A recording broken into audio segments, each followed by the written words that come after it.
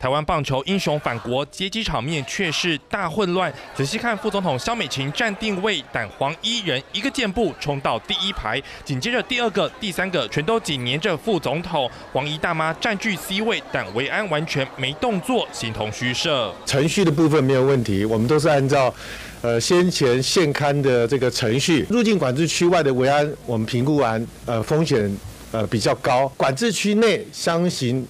简单很多，就是维安的状况比较单纯，所以说，所以就出了这个疏漏。你们自以为是，自以为。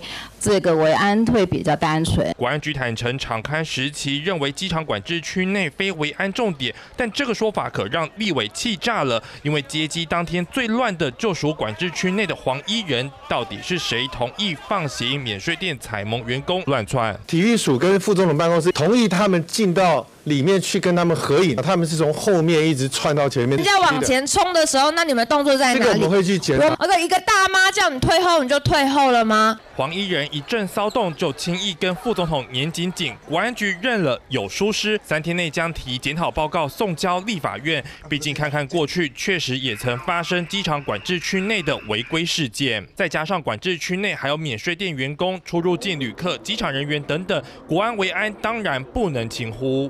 到底要怎么管制？口入口这些人员下来从哪边进，从哪边出？